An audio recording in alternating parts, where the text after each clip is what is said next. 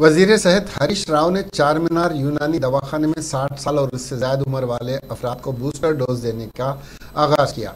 इस मौके पर मजलिस के फ्लोर लीडर अकबरुद्दीन अवैसी, मजलिस अरकान assembly Mumtaz Ahmed Khan, Syed Ahmed Pasha Qadri, superintendent Charminar यूनानी दवाखाना, प्रिंसिपल चार मीनार यूनानी कॉलेज और दीगर मौजूद थे।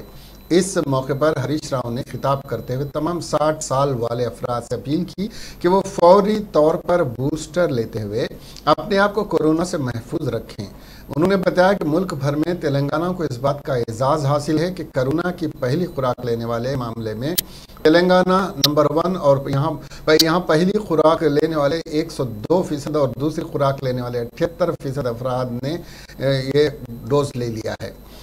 पंद्रह साल से अठारह साल तक की उम्र वाले अड़तीस फ़ीसद बच्चे वैक्सीन ले लिए हैं। ये सब कुछ उस वक्त मुमकिन हुआ है जब हमारे महकमे सेहत म्यूनसिपल और दीगर महकमे जात के अहदेदारों ने जो दावन किया, उससे मुमकिन हुआ।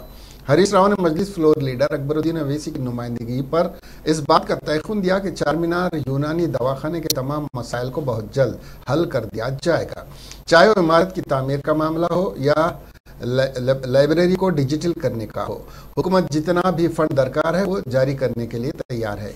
वज़ीर सेहत हरीश राव ने बताया कि वज़ीर अला के चंद्रशेखर राव तमाम डॉक्टर्स और टीचिंग स्टाफ की मखलूत जायदादों पर तकरूरत करने के सिलसिले में ग्रीन सिग्नल दे दिया है, जिसमें चार मीनार यूनानी दवाखाना भी शामिल है।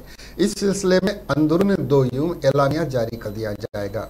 हरीश राव ने यूनानी दवाखाने के जिम्मेदारों से कहा कि वो भी इस दवाखाने में इन पेशेंट में इजाफा करने के इकदाम करें, क्योंकि उन्हें यह देखकर अफसोस हुआ कि 200 बेड वाले दवाखाने में सिर्फ़ 60 अफराद के दवाखाना है। हालाँकि यहाँ पर फालिज के मरीजों का बेहतरीन इलाज किया जाता है?